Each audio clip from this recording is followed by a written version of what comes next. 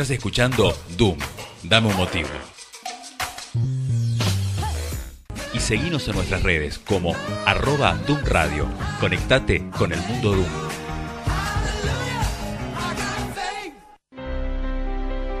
Presenta esta columna Bodegas Goyenechea de San Rafael, Mendoza, para su línea de vinos Euforia, con sus etiquetas Red Blend y Rosado. Conoce más de sus vinos en www.facebook.com barra Bodegas Goyenechea.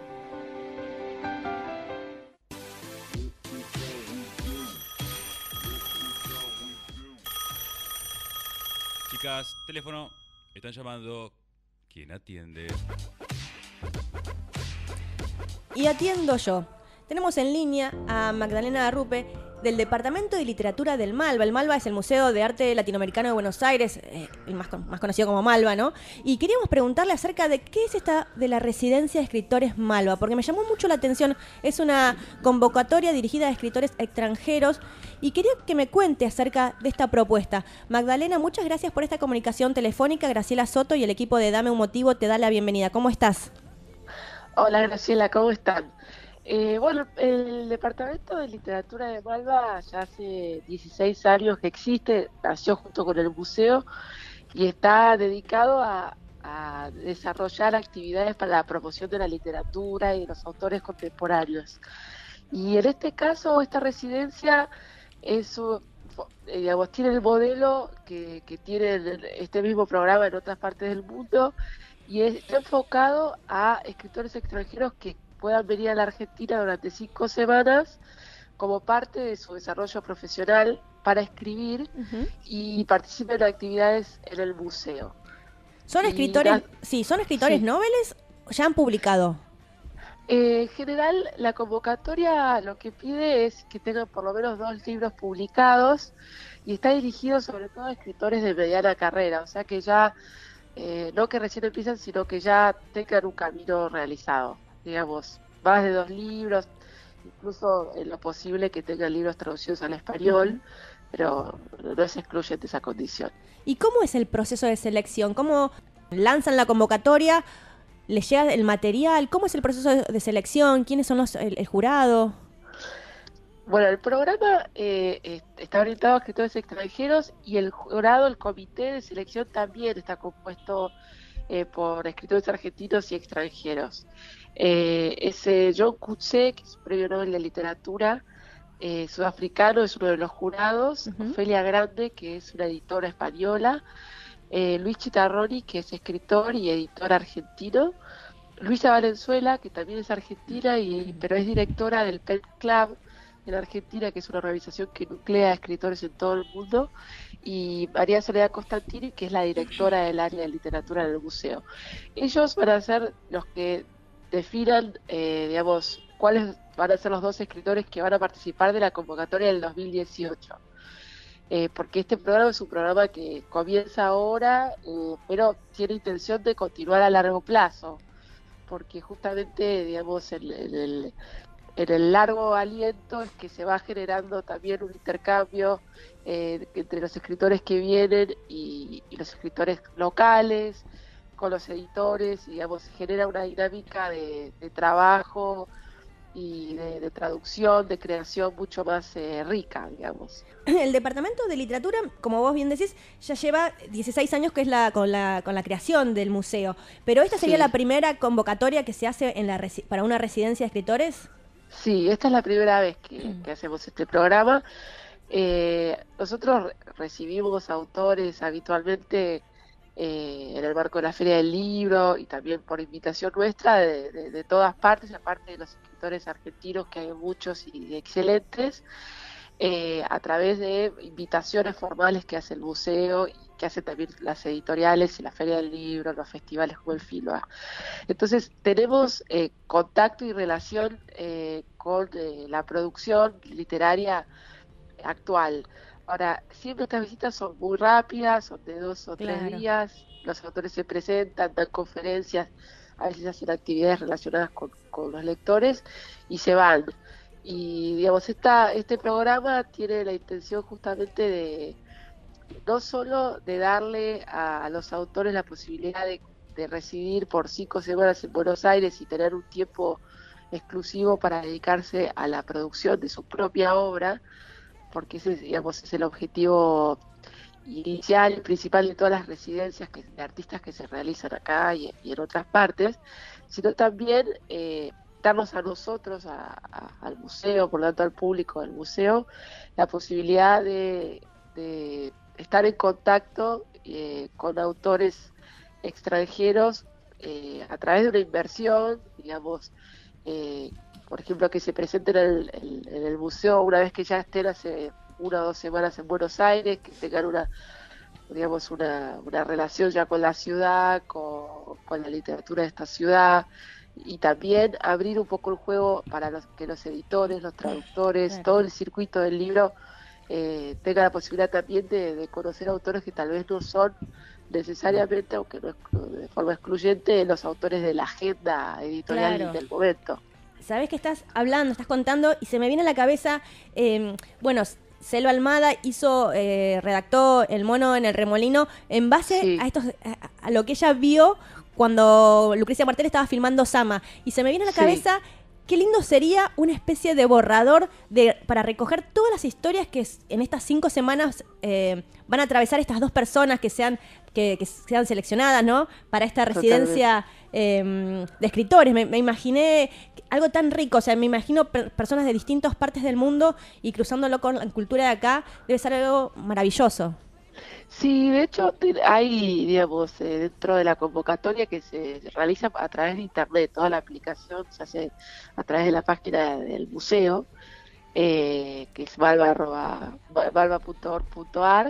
en, la parte de la programación de literatura, y ya hemos recibido eh, aplicaciones de todo el mundo, digamos, de, de, América Latina, de México, de Perú, de Chile, de Estados Unidos, de, Europa, de Francia, de España, de Bélgica, de República Checa, de Croacia, o sea, realmente una diversidad increíble. Y eh, la idea es que, digamos, como propuesta lanzada a los autores, les proponemos que escriban un texto de mil palabras, digamos, un poco eh, eh, inspirados o, en sintonía con la, la residencia que van a hacer en la ciudad, Así que vamos a tener, digamos, algún tipo de documento que no sé si va a ser, digamos, exactamente un borrador de, viaje o qué, pero inspirado un poco por, de los autores por, su paso por Buenos Aires. Magdalena, eh, Magdalena, siendo que estás dentro del Departamento de Literatura del Malva y siendo uno dice Malva y es como decir MoMA, o sea, realmente es un es el lugar de la cultura en la ciudad de Buenos Aires. ¿Cómo es esto de estar en, el departamento de literatura? ¿Cómo es de estar gestando nuevas ideas? Ahora surge esto de, esta residencia, ¿no? Que es la primera que se va a lanzar. ¿Qué más, qué otras ideas hay para el 2018? Eh, bueno, en el 2018 eh, vamos, estamos inaugurando varias exposiciones en el museo y algunas van a, continuar, por ejemplo, la, la exhibición de México eh, que acaba de abrirse, México Moderno, continúa hasta mediados de febrero. Es una, exhibición que recomiendo a los oyentes que, que la visiten porque es, eh, es imponente en cuanto a la, cantidad de obras que, que, viajaron y, los artistas que, están presentes, muchos de los artistas icónicos y no tanto de, de ese periodo.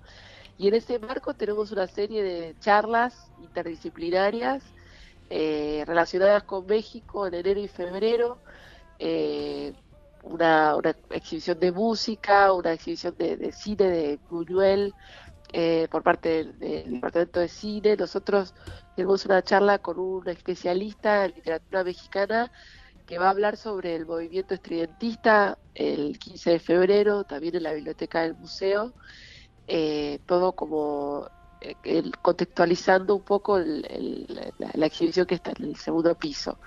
Y bueno, y después eh, tenemos una serie de, invitados que estamos confirmando, aparte de los autores de residencia eh, para abril, autores que van a viajar para la Feria del Libro, que también van a pasar por el museo, como Laura Herber, que es una escritora brasileña, que también es teórica de arte, que va a venir al museo a mediados de abril para dar una conferencia eh, sobre su propia novela relacionada con las artes plásticas. Y bueno, a mitad de año también tenemos eh, varios cursos, digamos, es una programación bastante dinámica y grande que, digamos, si siguen nuestras redes sociales, en Facebook, en Twitter, en la página, van a poder encontrar toda la información de la programación del año que viene. Pero bueno, la residencia es uno de los platos fuertes, porque eh, esperamos que sea, digamos, que, que sea de, impacto interesante, que, genere cosas interesantes.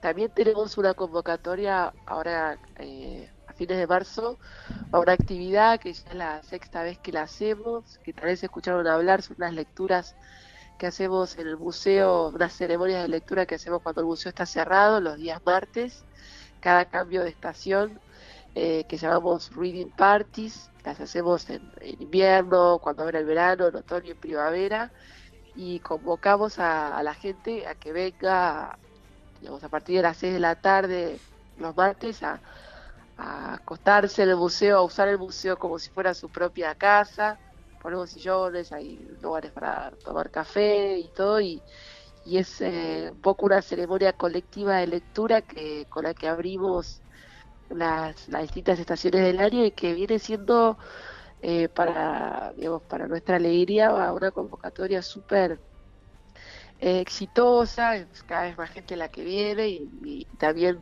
el rango de, edad del, público que viene al museo para leer y para pasar un momento también es muy amplio eh, ya tuvimos la última que hicimos fue la de otoño eh, ahora hace unos meses y la próxima que vamos a hacer es a fines de febrero, comienzos de marzo.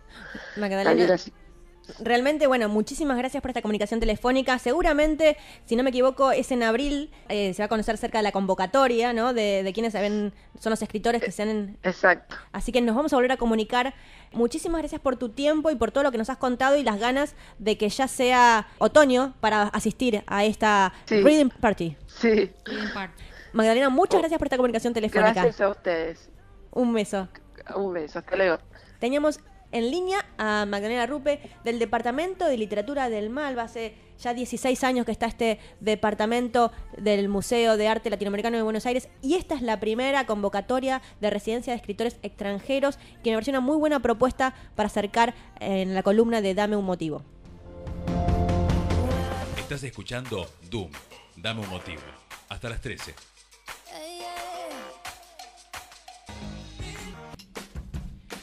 Siguiendo con esto del Malva, que justo estaba diciendo nuestra entrevistada Magdalena Rupe. Quería comentarles sobre esta muestra, ¿no? De México y su arte que se está desarrollando en el Malva desde, eh, bueno, que va a durar hasta el 19 de febrero. No se lo pierdan, chicos, tiene las mejores obras de Diego Rivera, de Frida Kahlo, de Orozco. Bueno, impresionante, todo el mundo la quiere ir a ver porque se exhiben más de 60 eh, artistas mexicanos, ¿no? Eh, así que nada, es una recomendación. Yo todavía no fui, quiero ir. Así que. Vamos en patota. Vamos, vamos, vamos en patota.